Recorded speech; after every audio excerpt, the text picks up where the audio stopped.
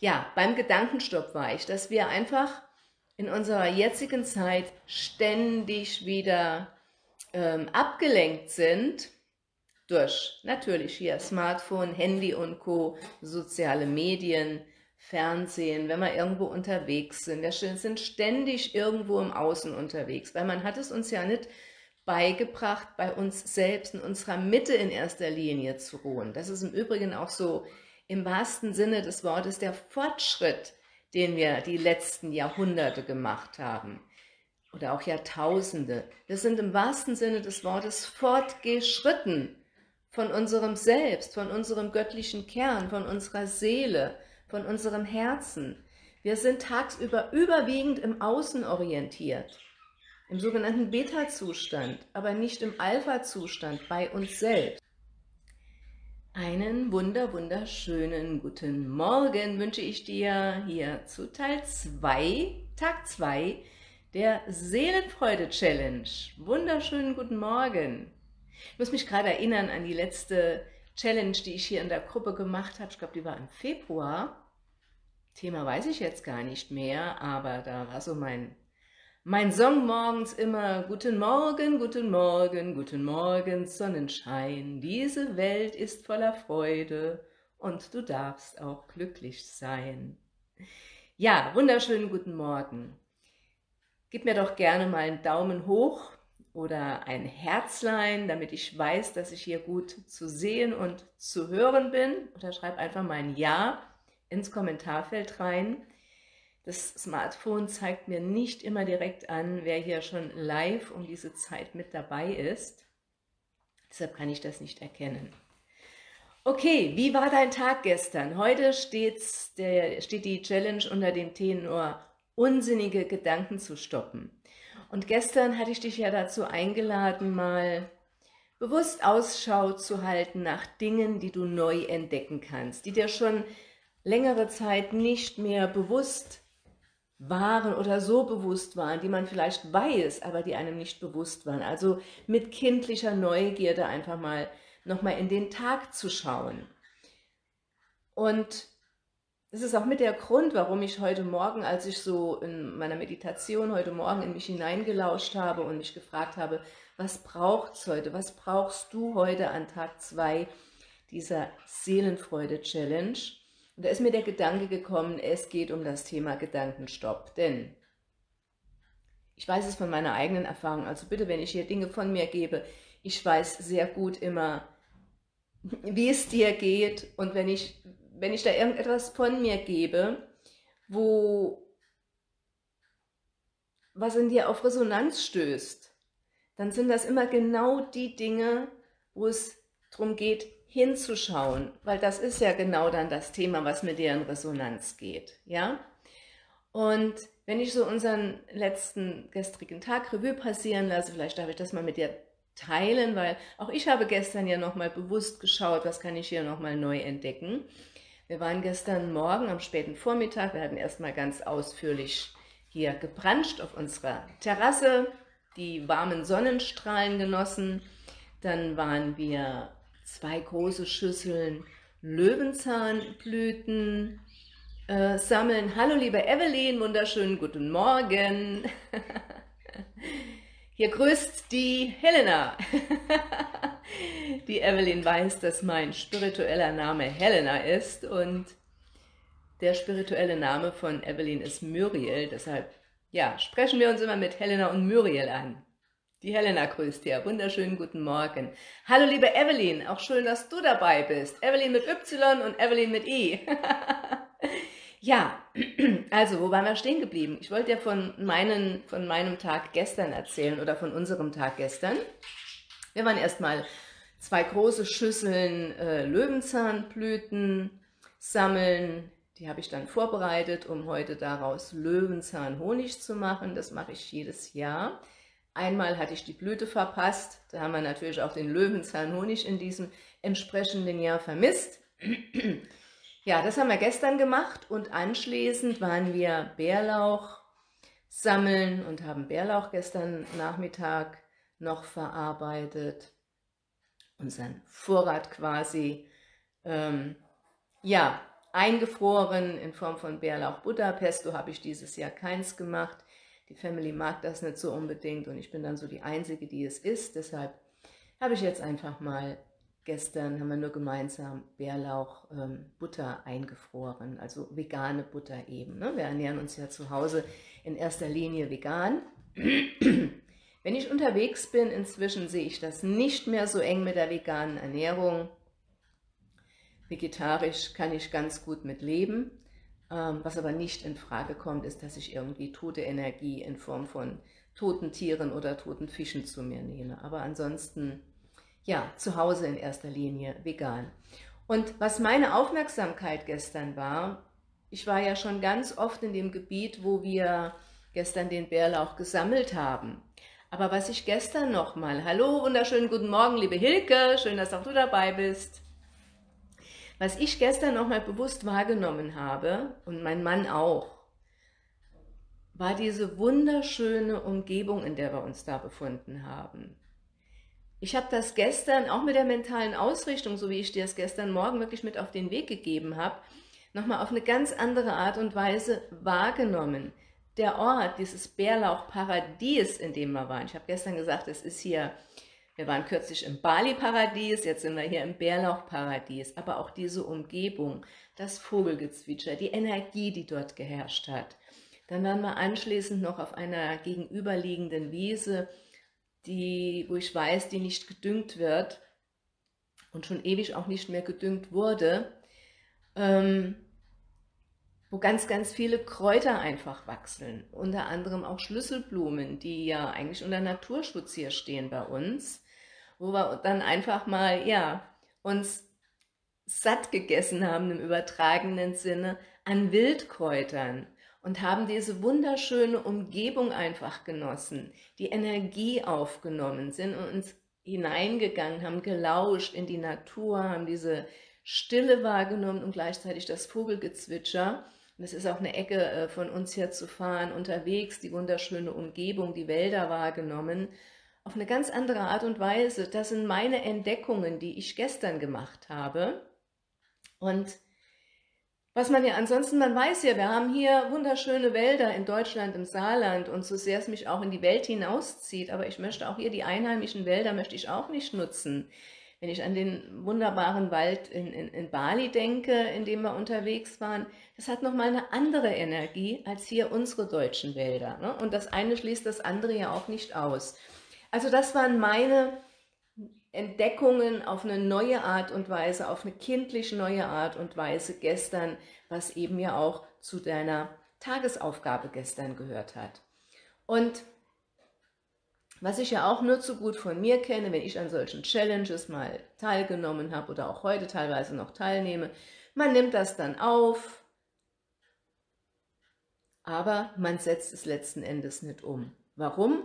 Weil ein paar Minuten später ist man schon wieder in anderen Gedanken drin, ist man schon wieder in anderen Themen drin, ist man schon wieder Mann oder Frau am Funktionieren. Ich lese mal gerade, was die Evelyn mit I, Evelyn mit I hier geschrieben hat. Ich habe auch schon Honig und Bärlauch verarbeitet, so Schönes daraus gemacht. Ja, schön, schön, liebe Evelyn, dass du da in der Richtung auch unterwegs bist. Denn im Hinblick auf die Seele, vielleicht darf ich das jetzt gerade mal noch hier einfügen, Wildkräuter haben einfach eine ganz besondere Auswirkung, eine ganz besondere Energie, einfach auch auf unseren Körper, auf unseren Geist, auf unsere Seele im Vergleich zu anderen Kräutern, die wir selbst im Garten anpflanzen oder die wir ansonsten kaufen, weil Wildkräuter wachsen ja definitiv nur dort, wo sie ganz optimale Bodenverhältnisse vorfinden. Das heißt, in so einem Wildkraut, da sind, äh, ist eine ganz andere Energie und das sind ganz andere Inhaltsstoffe, die für unseren Körper auf eine andere Art und Weise wertvoll sind, als das, was wir einfach züchten bzw. selbst auch irgendwo anpflanzen. Das ist so das Besondere an, an Wildkräutern. Okay, jetzt aber nochmal, ich war auch im Paradies gestern, so wunderbar die Fülle und die Energien. Schön, liebe Evelyn, schön, dass du das mit uns teilst, danke. Ja, beim Gedankenstopp war ich, dass wir einfach in unserer jetzigen Zeit ständig wieder ähm, abgelenkt sind durch natürlich hier Smartphone, Handy und Co., soziale Medien, Fernsehen, wenn wir irgendwo unterwegs sind. Wir sind ständig irgendwo im Außen unterwegs, weil man hat es uns ja nicht beigebracht, bei uns selbst in unserer Mitte in erster Linie zu ruhen. Das ist im Übrigen auch so im wahrsten Sinne des Wortes der Fortschritt, den wir die letzten Jahrhunderte gemacht haben oder auch Jahrtausende. Wir sind im wahrsten Sinne des Wortes fortgeschritten von unserem Selbst, von unserem göttlichen Kern, von unserer Seele, von unserem Herzen. Wir sind tagsüber überwiegend im Außen orientiert, im sogenannten Beta-Zustand, aber nicht im Alpha-Zustand bei uns selbst. Und das ist dann immer so die große Herausforderung, wenn ich dann morgens mal mit so einer Aufgabe in den Tag starte, wie gestern, was ich dir mit auf den Weg gegeben habe, mal mit einer kindlichen Neugierde zu schauen, was kannst du heute alles neu entdecken. Zehn Minuten später, Viertelstunde später ist es schon wieder weg. Man ist im Alltagsgeschehen gefangen, man ist in seinem Gedankenkabarett gefangen und abends stellt man dann fest, wenn man sich überhaupt noch daran erinnert, wo ist denn der Tag heute geblieben? Das ist im Übrigen auch etwas, was uns letzten Endes auch ein Stück weit Stress verursacht, wenn wir nicht im Hier und im Jetzt präsent sind, im Augenblick präsent sind, in unserer Mitte ruhen. Das stresst uns. Wir sind mit den Gedanken im Gestern, bei dem Kram von gestern oder von vorgestern, wenn wir uns da mal beobachten, wie oft schweifen unsere Gedanken ab. Oder wir sind im Morgen mit Zukunftsängsten, mit ungelegten Eiern und machen uns da irgendwelche Sorgen. Aber die einzige Realität, das ist das Hier und das Jetzt, der jetzige Augenblick, der im nächsten Augenblick auch schon wieder ein neuer Augenblick ist. Ein neuer Moment. Ja? Und das ist ein Training, das ist eine Übung. Also das ist natürlich etwas, was auch ich bis heute, auch nach langjähriger Praxis nicht hinbekomme, dass ich den ganzen Tag absolut präsent im Hier und im Jetzt bin. Also ich glaube, wenn man das mal hinbekommt, dann kann man auch schon davon sprechen, dass man erleuchtet ist. Ich glaube nicht, dass jemand von uns und auch ich nicht das im jetzigen Leben noch erreichen kann. Vielleicht in einem unserer nächsten Leben, wenn wir auf einer ganz anderen Bewusstseinsebene, auf einer ganz anderen Schwingung uns nochmal bewegen. Aber ich weiß auch nicht, ob das wirklich das Ziel ist, jetzt im jetzigen Leben, im jetzigen Körper die Erleuchtung zu bekommen. Aber was doch das Ziel sein kann, ist so viel wie möglich tagsüber sich bewusst zu sein, seiner selbst bewusst zu sein, in seiner Mitte zu ruhen, bei sich selbst zu sein und den Augenblick wahrzunehmen, den Moment wahrzunehmen, weil dann kommt man ja auch in das Gefühl hinein, wie gut das Leben es mit einem meint. Und so haben wir unser Gedankenkabarett, das ja ständig abschweift. Und da würde ich dich jetzt dazu einladen, mal eine kleine Übung mit mir zu machen, wo wir jetzt mal unsere Gedanken beobachten. Denn wenn ich dich jetzt dazu einladen würde, mal eine Minute die Augen zu schließen und nur dich auf deinen Körper zu konzentrieren, das kannst du ja gerne auch heute im Laufe des Tages mal machen, wirklich die Aufmerksamkeit zum Beispiel nur auf deinen Atem zu richten, eine Minute lang, Du wirst erstaunt sein, wie du schon nach wenigen Sekunden wieder andere Gedanken denkst. Wie du nach wenigen Sekunden schon wieder abschweifst mit deinen Gedanken und schon wieder nach wenigen Sekunden ja, bei einem ganz anderen Thema bist. Und wenn man das merkt, dann kann man immer wieder zurück die Aufmerksamkeit auf den Atemstrom lenken. Das ist auch ja dann die Aufgabe. Aber jetzt würde ich gerne mit dir mal eine Übung machen, einfach mal die Gedanken wahrzunehmen und einen sogenannten Gedankenstopp zu machen, weil das geht. Und das sind so, in diesem Moment kommst du in so ein absolutes, reines Bewusstsein rein. Und das machen wir jetzt mal gemeinsam, okay? Deshalb lade ich dich jetzt mal dazu ein, mit mir gemeinsam die Augen zu schließen und dann nimm mal zwei, drei tiefe Ein- und Ausatmungszüge. Stell dir mal vor, wie du dich mit dem Ausatmen in deinen Körper sinken lässt. Ganz tief und genüsslich durch die Nase einatmen, durch den Mund ausatmen. Und noch einmal.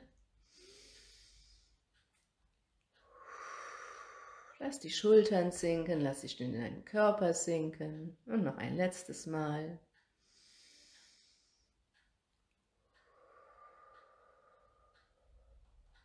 Und dann lade ich dich ein, auch mal für einen Moment deinen Beckenboden anzuspannen. Das hilft dir auch, dich zu zentrieren. in deiner Mitte zu sein, bei dir selbst zu sein. Spann mal deinen Beckenboden an und lass dann deinen Atemstrom ganz leicht und frei ein- und ausströmen.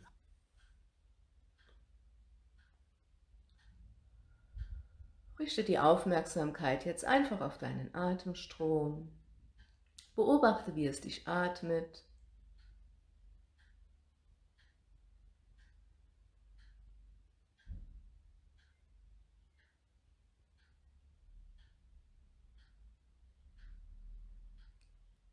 Und jetzt lade ich dich dazu ein, mal zu schauen, mal zu beobachten, wo kommt der nächste Gedanke her.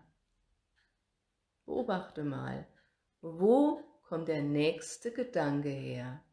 Die Augen bleiben weiter geschlossen, dein Atemstrom fließt ganz leicht und frei. Und du schaust einfach mal, beobachtest, wo kommt der nächste Gedanke her.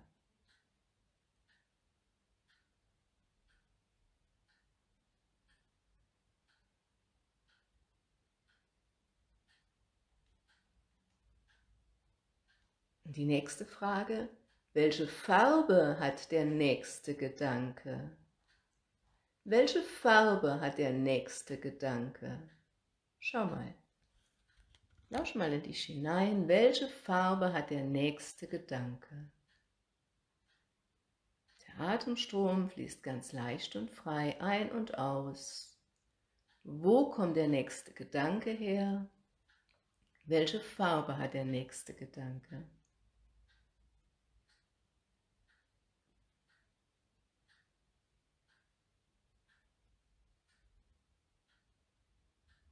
Wo kommt der nächste Gedanke her? Welche Farbe hat der nächste Gedanke?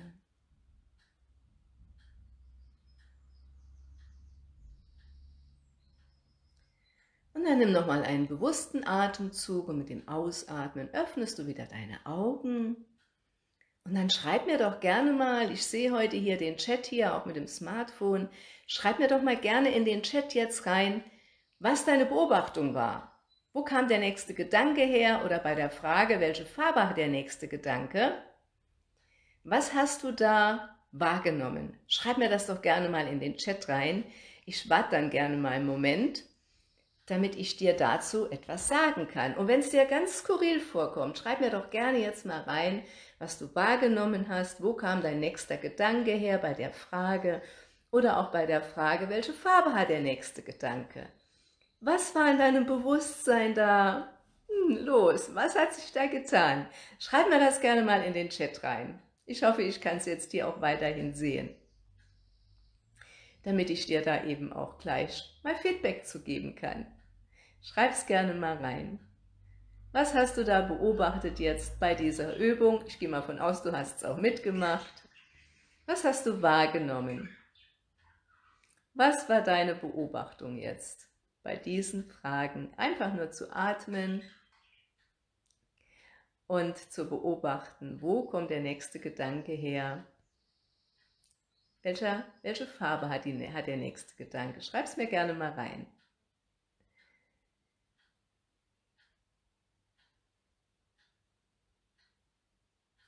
Mal gucken, ob ich hier hochscrollen kann. Nee, das funktioniert nicht. Okay. Gut, ich weiß jetzt nicht, anscheinend funktioniert es jetzt doch weiter nicht mehr mit der Übertragung hier über Smartphone, dass ich die Kommentare sehe. Schaue ich nachher dann rein. Aber ich kann dir eins sagen. Warum habe ich diese Fragen gestellt? In dem Moment, wo du dir die Frage stellst, und wenn du das eben so nicht wahrgenommen hast, dann mach's gerne nochmal. Wo du die Frage stellst, wo kommt der nächste Gedanke her? Evelyn hatte keine Gedanken, habe auf meinen habe auf meinen Atem und deine Stimme geachtet. Sehr gut, liebe Evelyn, sehr gut. Vielen Dank, dass du das teilst. Und genau ist das, so kannst du einen Gedankenstopp machen. Das wollte ich gerade sagen, wenn du es richtig gemacht hast, in dem Moment, wo du dich fragst, wo kommt der nächste Gedanke her, ist da plötzlich ein Gedankenstopp. Und das ist der Moment, der Bruchteil von Sekunde, wo du in deinem reinen Bewusstsein bist wo du in einer Gedankenlosigkeit bist. Und vielleicht kannst du auch im Nachhinein spüren, wie das gut tut. Und das kannst du immer wieder auch tagsüber machen, wenn du das Gefühl hast, du bist jetzt wieder komplett im Außen und gar nicht bei dir selbst und du fühlst dich gestresst. Die Hilge schreibt, aus dem Nichts blau, sehr gut. Evelyn, die Farbe ist bei mir geblieben, Sonnenlicht und ein Gedanke kam gar nicht auf. Ich war und bin. Sehr, sehr gut. Hast du wunderbar gemacht. Hilke, auch du. Wunderbar. Danke fürs Teilen. Und das ist so der Moment, der Bruchteil von Sekunden, wo wir im reinen Bewusstsein sind. Und diese Frage, die ich da noch oben drauf gestellt habe, welche Farbe hat der nächste Gedanke? Das ist für unseren Denker, für unseren Verstand so skurril, dass der dann einfach auch überfordert ist, wie welche Farbe soll der nächste Gedanke haben. Entweder ich bekomme eine Farbe wie blau oder die Evelyn hat äh, Sonnenlicht gesehen, also gelb im Prinzip im übertragenen Sinne. Aber das toppt es auch einfach nochmal, dass du entweder dann eine wunderschöne Farbe wahrnimmst, blau, die Farbe der Transformation, Sonnenlicht, gelb, die Farbe der Wahrnehmung, aber auch gelb kann man auch äh, im übertragenen Sinne sehen für göttliches Licht, für die Quelle allen Seins, für das Licht und für die Liebe von allem, was ist, da wo wir alle herkommen. Also das sind wunderschöne Farben und das tut doch einfach nur gut.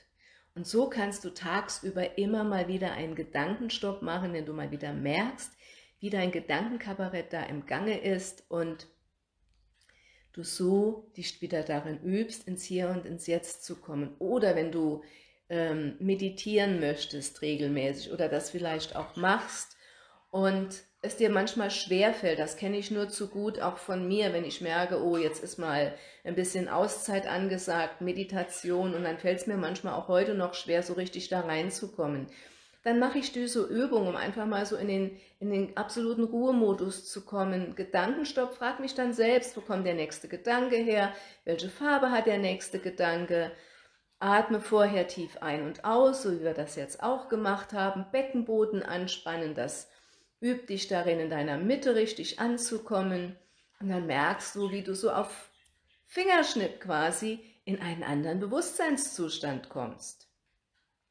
Und das würde ich dir heute gerne auch nochmal hier bei der Challenge mit als Tagesaufgabe mitgeben. Zum einen nochmal das Gleiche wie gestern, bewusster deine Umgebung anzuschauen, bewusster in die Natur zu schauen, bewusster in dein Umfeld zu schauen, bewusster mit einer kindlichen Neugierde nochmal zu schauen, was kannst du heute wieder alles Neues für dich entdecken und immer mal wieder Gedankenstopp zu machen und zu beobachten, was es mit dir macht, wie es dir dabei geht und dann hier gerne nochmal ins Kommentarfeld reinschreiben. Ansonsten, wenn du Fragen hast, schreib mir das auch gerne, wenn du ein Anliegen hast. Ich gehe hier im Laufe der 30-Tage-Challenge da sehr gerne auf dich ein. Also nutz diese Zeit hier auch, nutz auch hier die Chance dieses kostenfreien Coachings quasi mit mir, denn ich habe hier kein vorgefertigtes Programm für die nächsten 30 Tage. Ich frage mich auch abends oder morgens immer wieder aufs Neue, was brauchst du jetzt, mit was kann ich dir helfen? Und wenn ich da Impulse und Anregungen auch von dir bekomme, gerne, ich gehe da gerne drauf ein. Die Evelyn schreibt noch, solche Übungen mache ich ganz viel auf meiner Arbeit und sei es auf der Toilette. Sehr, sehr gut. Evelyn, wunderbar. Das ist ein gutes Stichwort, das du mir auch noch lieferst. Für all diejenigen, die hier auch heute im Laufe des Tages sich noch zuschalten und die Aufzeichnung anschauen, weil es jetzt um die Uhrzeit einfach zeitlich nicht passt. Es gibt also keine Ausrede, selbst wenn du den ganzen Tag im Büro hockst oder in einem Großraumbüro oder was immer du machst, irgendwo im Supermarkt an der Kasse arbeitest oder egal was du beruflich machst, es gibt keine Ausrede, das sind Übungen, die du auch auf der Toilette machen kannst. Also zurückziehen musst du dich tagsüber eh mal wieder und dann mach diese Übung auf der Toilette, auf der Arbeit. Sehr, sehr gut. Danke, liebe Evelyn. Also, hab einen wunderbaren Tag, hab bitte keine Scheu, mir auch gerne Fragen zu stellen, gehe ich gerne drauf ein, lass uns hier die nächsten 30 Tage wirklich das Allerbeste aus dir auch herausholen. Lass mich dich unterstützen, zur allerbesten Version deiner selbst zu werden. wirklich die Seelenfreude-Challenge auch als solches zu sehen, dass du dir selbst, deinem Herzen, deiner Seele näher kommst und deine Seele und damit letzten Endes auch du selbst hier ganz, ganz viel Freude im Wonnemonat Mai hast und dann natürlich auch noch weiter darüber hinaus. Also, ganz liebe Umarmung, hab einen wunderbaren Tag, bis morgen früh in alter Frische um 7.15 Uhr sehen wir uns. Bis dahin, ciao, ciao.